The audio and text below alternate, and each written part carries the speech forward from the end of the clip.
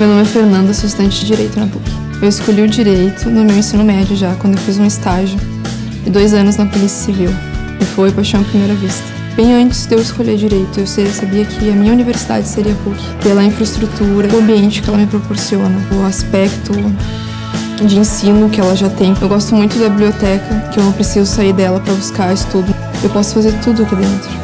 Que eu gostei mais da faculdade é que ela me proporciona coisas que eu teria fora daqui, que seria um tribunal, um júri, eles trazem para dentro da PUC. O curso ele me oferece bem mais do que eu esperava.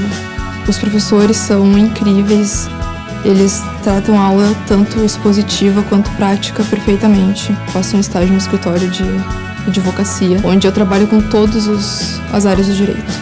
A que mais me encanta é a penal.